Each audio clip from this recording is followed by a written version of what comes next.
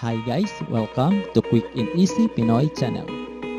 In this video, I'm gonna show you how to fix this AMD Radeon settings always default. You have two steps to fix this problem.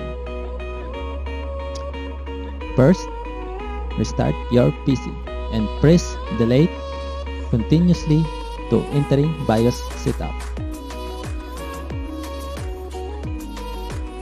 Okay. Next, click BIOS and disable the fast boot. Click and then disable.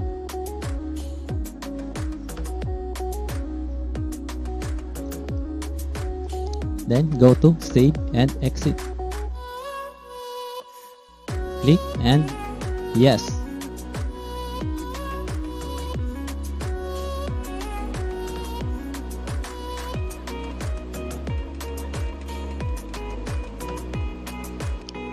Okay, uh, next steps. Go to Windows Settings.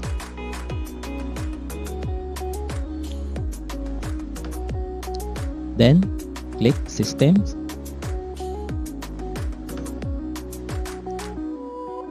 Click Power and Sleep. Additional power settings. And click choose what the power buttons do. Then change settings that are currently unavailable. Then you can turn off this uh, fast startup settings. Uncheck. Then save change.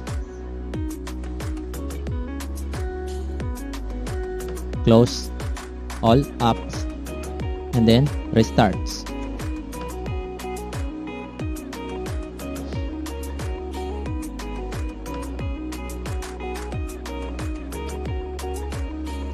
Okay guys, that's all.